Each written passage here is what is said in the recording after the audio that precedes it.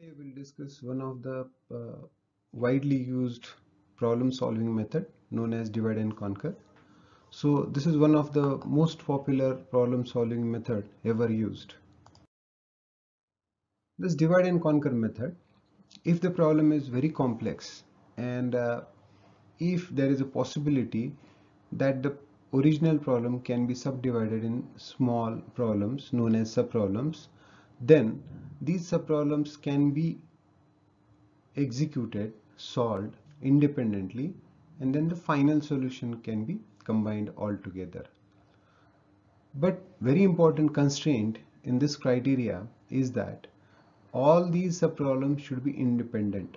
They should not have a dependency in case output of one problem should be used as an input to another problem.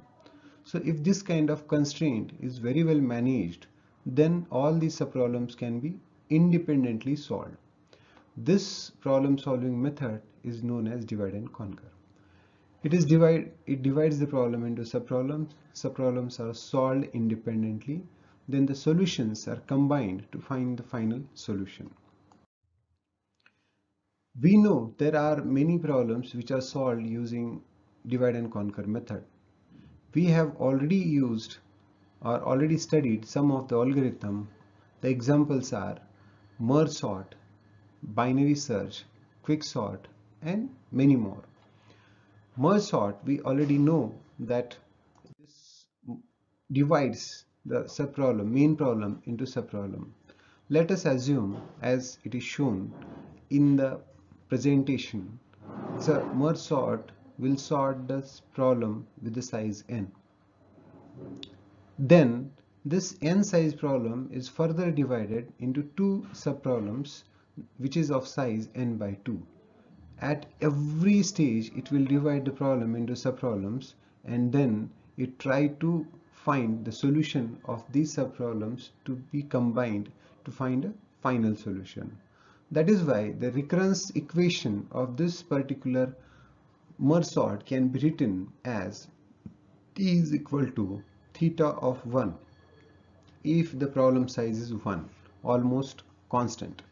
But if the problem size is more than 1 then the recurrence equation can be written as 2t in the bracket n by 2 plus theta of n if the problem size is large. So this is about merge sort then we know there is a binary search method. So in the binary search method, if the problem size is n, then after finding out the mid of a search set, we will compare the key element to the mid or mid of this particular search set, which is of size n. If we find that the key is larger than the mid side mid element then we'll neglect first part and we'll go with the remaining.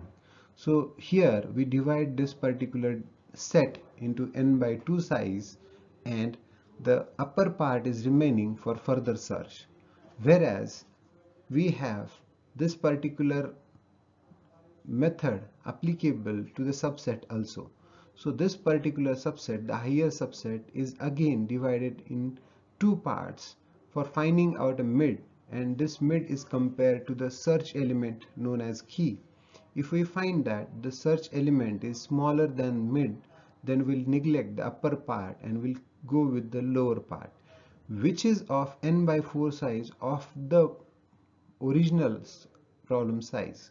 So this is how each time the subproblem size is reduced to n by 2 of original problem. This is a binary search. Then we also know quicksort is one of the famous example of divide and conquer method. So in this divide and conquer method, what we do, we partition the original array into two parts with the pivot element.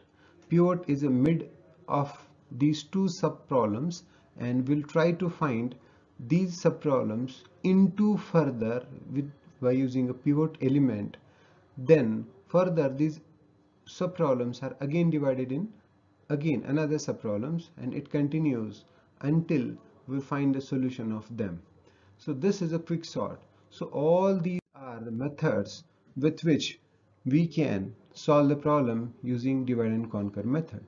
So let's understand there is a one more very famous algorithm that we have used known as matrix multiplication.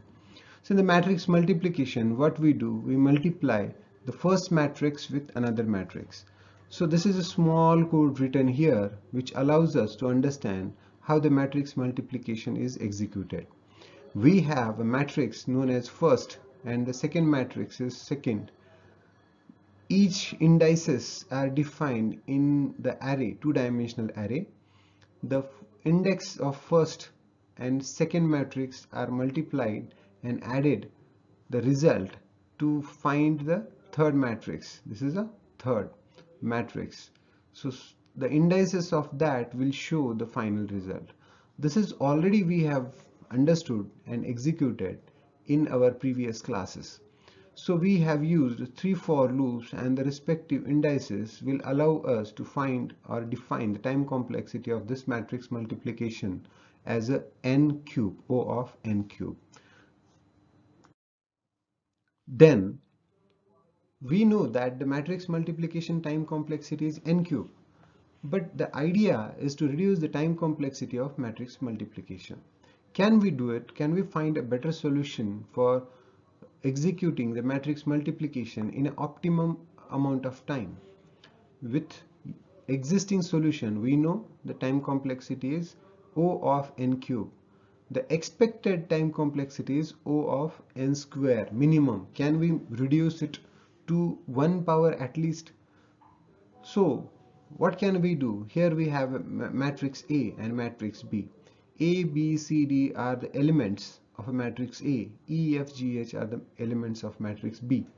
Then finally we have a resultant matrix known as C in which AE plus BG as the first element, then AF plus BH second element, then CE plus DG third element and CF plus DH the fourth element. This is what the resultant matrix is.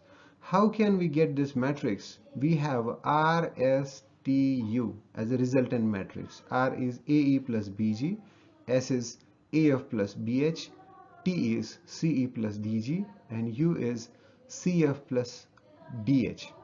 So if we look at this particular elements of a resultant matrix, we can very easily understand that AE BG represents the multiplication of the elements.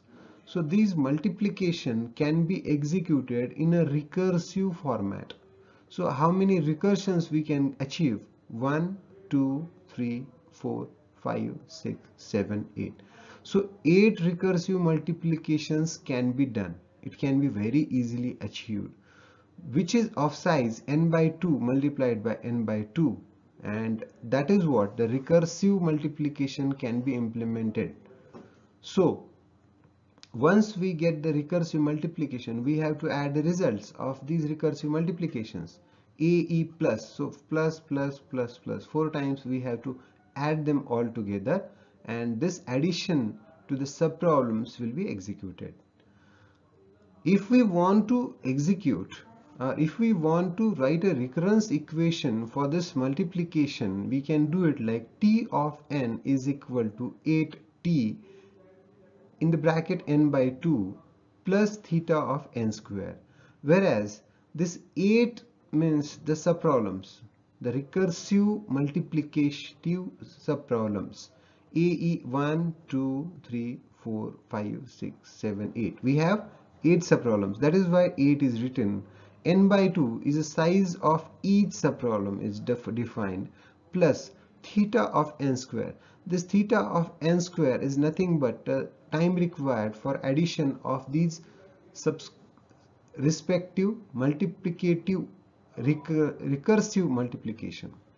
So if we solve this recurrence equation we'll get n cube. So n cube is far better than n square fx sorry fn. That is why we will declare time complexity of matrix multiplication as a O of n cube. So here we have defined the time complex of matrix multiplication. But we have not we haven't able to reduce the time complexity with this particular method also. In the previous multi previous method what we have done we have multiplied the matrix. So we used three for loops and these three for loops has generated n cube o of n cube time complexity. In this second method what we have done we have defined it in a three recursive eight recursive multiplications and then addition then also we could not reduce the time complexity does any other method exist with which we will be able to reduce the time complexity of matrix multiplication. So this is what a Strassen has done. Stresses, Strassen is one of the uh, well-known scientists. What he has done, he has provided uh, a new or a innovative multiplication, matrix multiplication method. So this is A, B, C, D is first matrix, E, F, G, H is second matrix, and this is a third resultant matrix. So in the resultant matrix, we can see P5 plus P4 plus P2 plus P6. This is first element. Then in the second element, P1 plus P2. Third element is P3 plus P4 and the last element is P1 plus P5 plus P minus P3 minus P2. So these are the, the elements that we can achieve as a resultant matrix. So from where do we get this P1, P2? Here the reference is written. P1 is equal to A in the bracket F minus H. P2 is A plus B multiplied by H. C is in the bracket C plus D multiplied by E. P4 is D in the bracket G minus E. P5 is A plus D in the first bracket and in the second bracket E plus H. P6 is in the first bracket B minus D, second bracket holds G plus H. P7 is in the bracket first bracket A minus C, second bracket E plus F. If we execute this P1, P2, P3, P4, P5, P7, P6, P7, then we achieve the resultant matrix, means the multiplication of two matrices result. So here if we look at this P1, P2, P3, P4, P5, P6, P7 these are the subproblems. These are the subproblems. So now the problem size is reduced to 7. In the previous uh, matrix multiplication example we were having 8 recursive multiplication subproblems. Here we have seven subproblems. Now the eight subproblems are reduced to seven. So if we have done this, then we will get a time complex recurrence equation of this is like seven subproblems each with the size n by 2 plus O of n square. The extra time required for execution of the other entities. So if we execute this recurrence equation with the standard master method then we'll get O n 2 point to n to the power 2.807 this is almost very negligible.